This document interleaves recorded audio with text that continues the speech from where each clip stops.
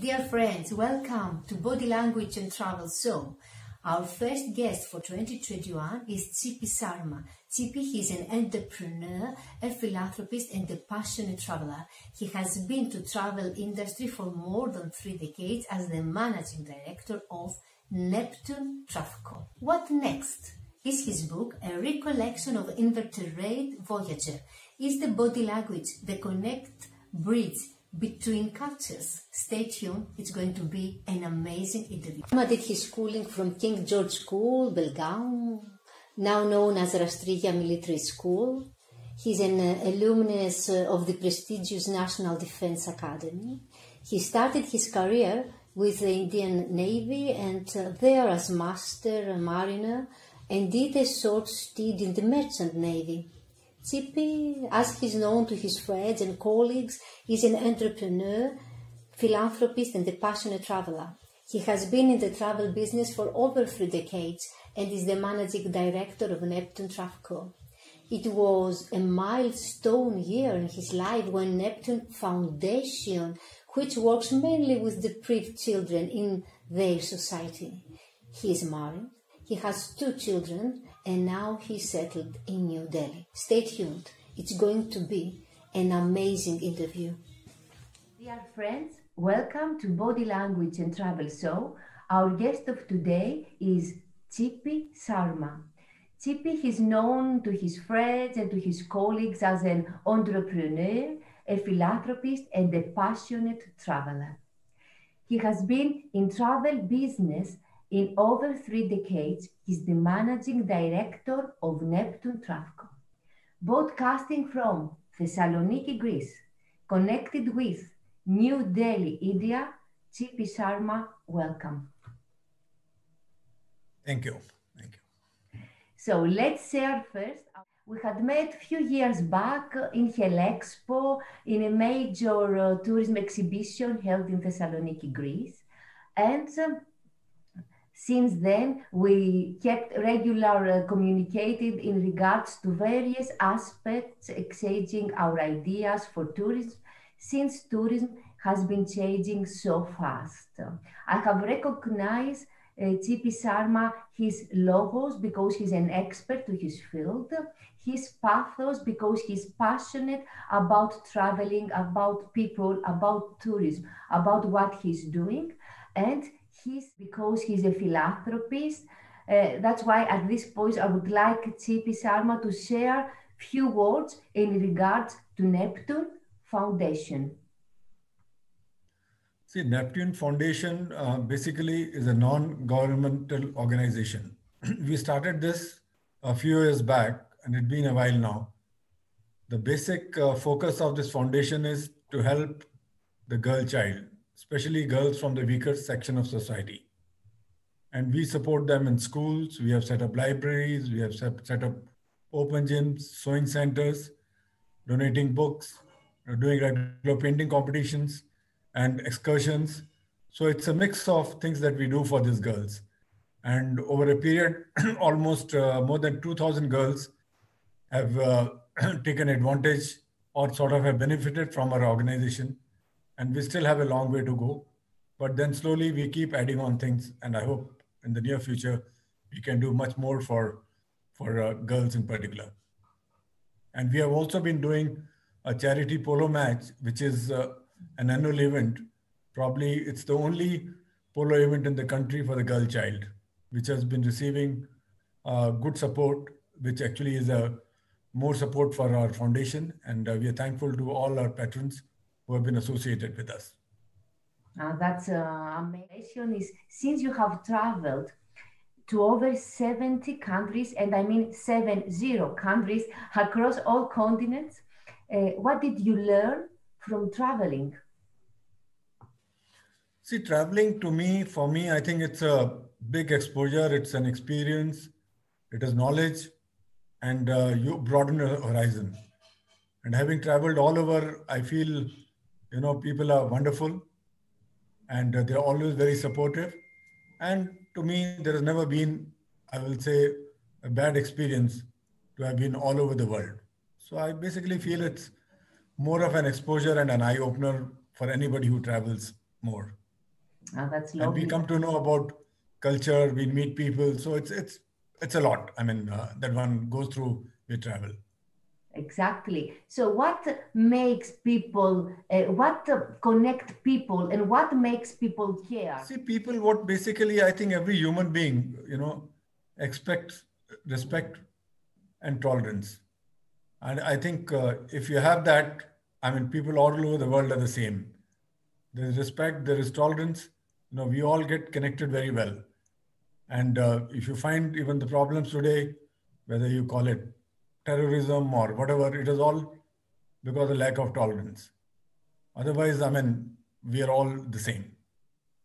Exactly. So I would like to ask at this particular point that we are talking about connection of people connection, if non-verbal communication, and I'm explaining facial expressions, body posture, uh, gestures are playing a role, is like, let's say, the bridge that connect culture. See, there are, uh, I would put it, the aspects of communication, norms of non-verbal communication vary from country to country and people to people.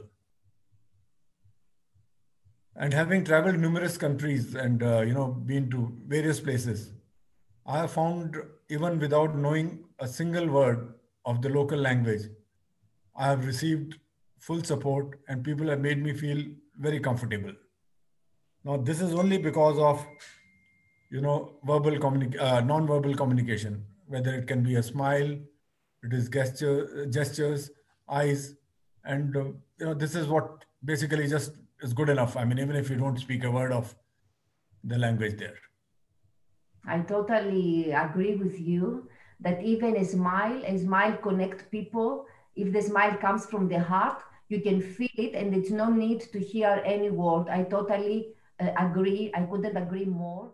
Beautiful opportunity that I'm connected with you now in New Delhi.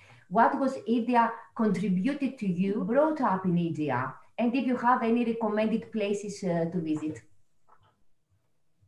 See, uh, I mean, uh, to be honest, I mean, uh, you know, I think we all, most of us are proud to be born wherever we are. But I'm definitely more than proud to be born in India. And I, I will literally say I've been blessed to be born in India more than just to be born. Now, India is a country of diverse cultures people of different cultures and religions live together harmoniously. And you know, we enthusiastically celebrate all the festivals. So, which is a, a big mix. I mean, you know, so many religions here. And our country is an extreme. Where there are rich, there are poor. We have luxury, there's hunger.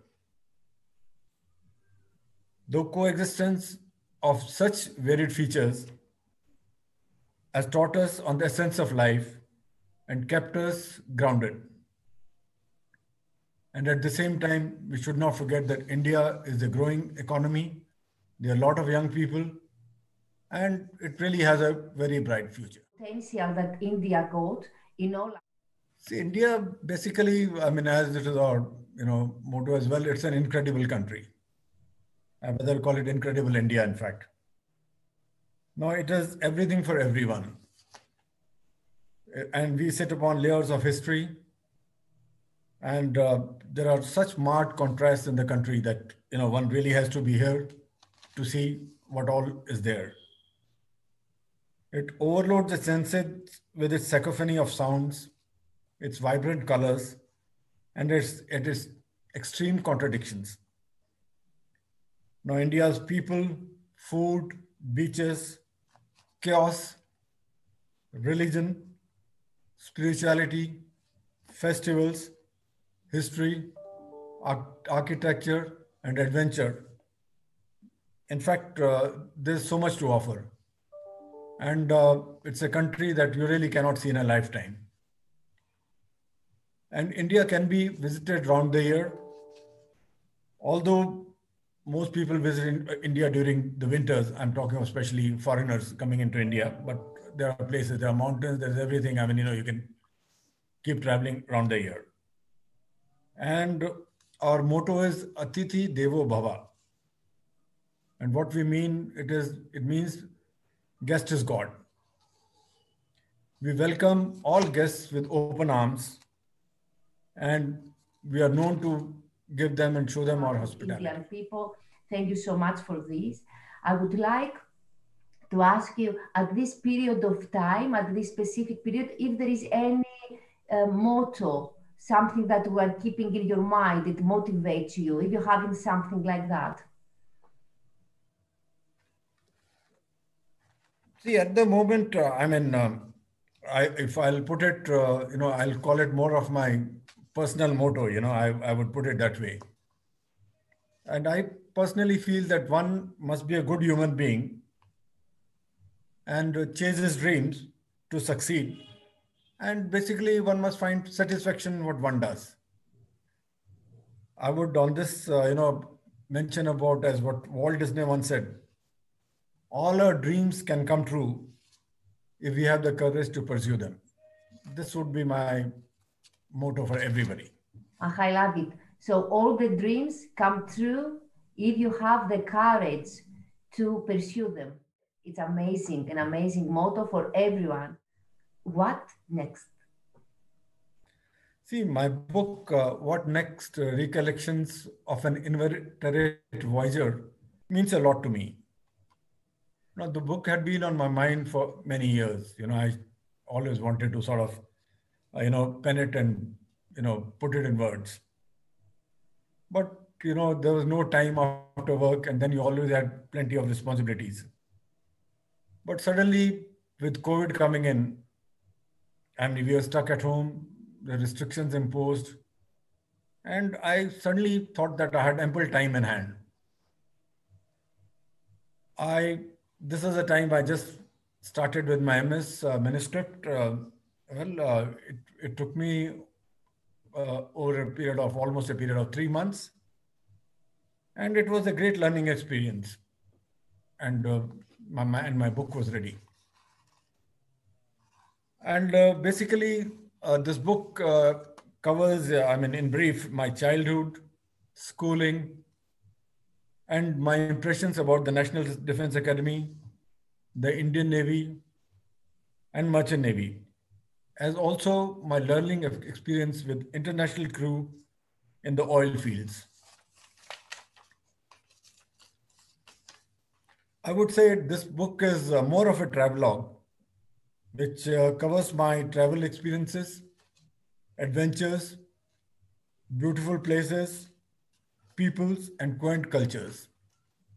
Yet, within this bewildering diversity, I could sense the essential unity.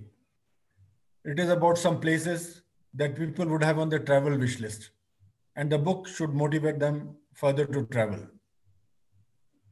I would uh, also like to mention that now that the book is ready, it is also available on Amazon, Kindle, and other platforms. It is actually it is uh, what next, and it and the complete title would be what next: Recollections of an Inveterate Traveler. Perfect. That is the complete title of.